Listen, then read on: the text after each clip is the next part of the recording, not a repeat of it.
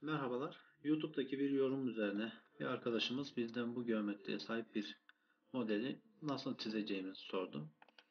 Bana gönderdiği çizim bu. Kardeşim çiziminde bazı sıkıntılar mevcut. Bu sıkıntıları göz ardı ederek yeni bir parça ortamında aynı geometriye sahip bir parça modelleyelim istedim ben. Çünkü senin çizimini düzenlemeye kalkarsak Bayağı vakit harcayacağız. Yeniden çizmek bana daha kolay geliyor. Bu arada mouse'umla ilgili bir sıkıntı var. Biraz ızdıraplı bir çizim olacak. Şu an almıyor. Tek tıklamayı iki tıklama olarak algılıyor.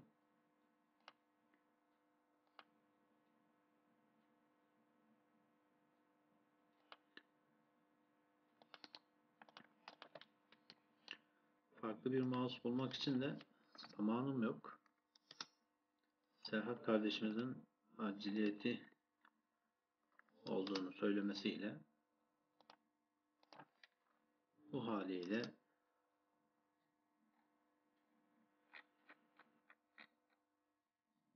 modellemeyi yapmamız gerekiyor.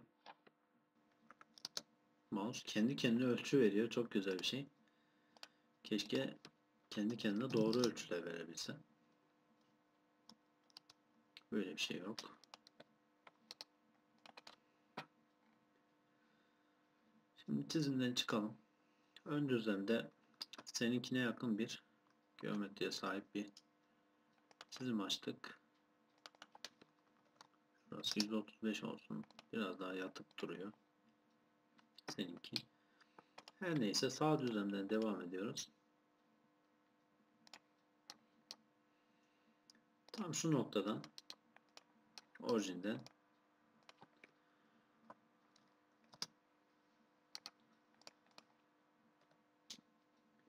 yeni bir çizim açtım ve profilimi çizdim. Bu profili şu noktaya kadar ekstrüze ediyorum. Çizim mantığını kavradığında Serhat kendi ölçülerine dayalı olarak sen kendi parçanı çizersin. Ben burada ölçüleri kendim veriyorum. Yaklaşık ölçüleri göz önünde bulundurarak göz kararı şurası çakışık olacak. Şöyle yapabiliriz. Ekstrüze et diyebiliriz şu noktaya kadar. Ve daha sonra buradan draft açısı veririz. Yani şuradaki çapı yakalaman çok zor olmaz bu şekilde. Yakalarsın illaki. Ama yok. Ben bununla uğraşmam. Net sonuç isterim dersen şuraya bir düzlem daha eklersin. Ve bu düzlem üzerine yaptığın çizimde senin olmasını istediğin çap değerini girersin. Diyelim ki 8 olsun. Atıyorum. Ve daha sonra loft ile bu iki formu birleştirebilirsin. Ön düzlemden bakarak bu tutamaçlarımızı maksimum oranda tepe noktasını alabilmek için çekiştiriyorum dışa doğru. Evet. Buradaki formu da elde etmiş olduk. Düzlemleri gizleyelim. Şu çap kaçtı? 25'miş. Bu çap birdenbire bu kadar düşemez. 23 olsun burası da. Tamamdır. Daha sonra sınır ile kat oluştur komutunu kullanalım. Sınırlarımızı seçtik. Yine ön düzleme dik bakıyorum ve tutamaçları çekiştiriyorum. Tepe noktalarını aldım ve eşit olmalarını sağladım. Daha sonra her iki yüzey içinde yüzeye tanjantlık veriyorum ve onaylıyorum. Katılar birleştirmemiz etkin. Kaç komut? 3 komut yaptı.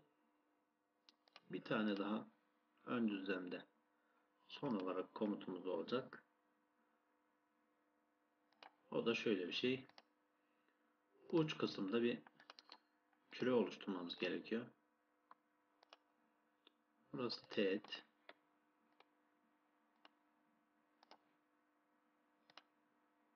Buraya bir çizgi ekleyelim.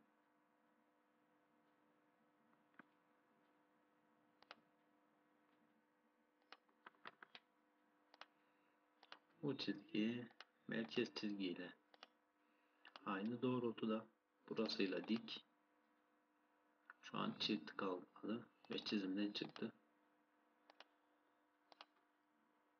Burası birbirine teğet. Şu çizgiyi yardımcı yapıyorum ben.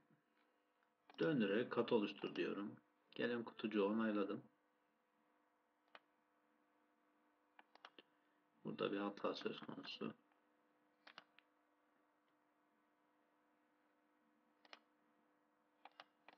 İki adet çizgi eklemiş. Evet. Onayladık. Ve küresel kısımda tamamlanmış oldu. Parça geometrimizi elde etmiş olduk. Çizimleri karşılaştıralım. Seninkinin uç kısmı biraz daha küçük sanki. 5 olsun. Yine böyle bakalım. Evet. Ölçüleri dediğim gibi sana kalmış. Ölçülendirmeyi sen yaparsın. 4 adet komutla bu işi yaptık. Sana kolay gelsin diyorum. Bir sonraki videoda görüşmek dileğiyle sağlıcakla kalın.